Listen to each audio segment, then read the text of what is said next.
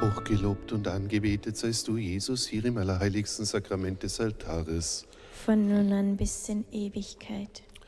Heute feiert die Kirche den, die kanadischen Märtyrer und ich durfte einmal an ihrem Grab die Messe feiern. Und wenn man so das Leben ein bisschen liest von ihnen, dann sieht man dieser Isaac, es war ein Jesuit, Isaac, genau ein Franzose, der wurde, die wurden ja gefoltert wie noch was und erlitten das Martyrium schlussendlich. Aber er konnte fliehen. Er konnte fliehen und ging dann nach, Amerika zurück, ging dann nach Frankreich zurück, um ein Jahr später wieder nach Kanada zu gehen. Und das ist so beeindruckend eigentlich. Sie hatten so ein Feuer für Christus, so eine brennende Liebe für Christus und auch für diese Indianerstämme der Huronen und hatten sie in ihrem Herzen, dass er sich nach einem Jahr wieder aufgemacht hat und gesagt hat, ich gehe wieder nach Kanada zurück. Und dort erlitt er dann wirklich das Martyrium. Und das ist so beeindruckend. Sie haben alles gegeben für Christus. Sie haben alles gegeben für die Kirche und sie haben ja gelebt im 16. Jahrhundert. Also da bist du nicht einfach bloß ins Flugzeug hineingestiegen und hinübergeflogen und auch nicht mit dem Schiff wie heute jetzt zum Beispiel so, mit dem Traumschiff Surprise, sondern die sind, die sind wochenlang waren die unterwegs.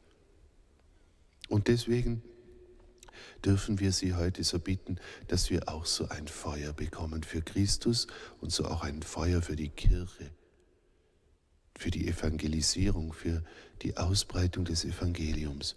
Und normalerweise würde man heute sagen, wenn da einer zurückkommt dann in seinen Orden, der das Martyrium erlitten hat und halt fliehen konnte, du bleibst jetzt hier bis ans Ende deines Lebens.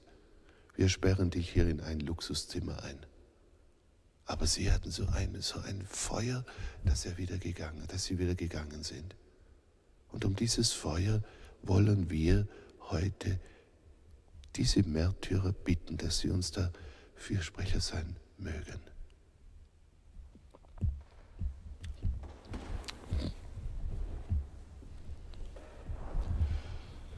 Brot vom Himmel hast du ihnen gegeben das alle Erquickung in sich birgt. Lasset uns beten, Herr Jesus Christus, im wunderbaren Sakrament hast du uns, hast du das Gedächtnis deines Leidens und deiner Auferstehung uns hinterlassen.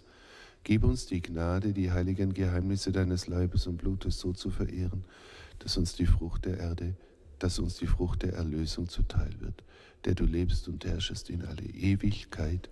Amen. Amen.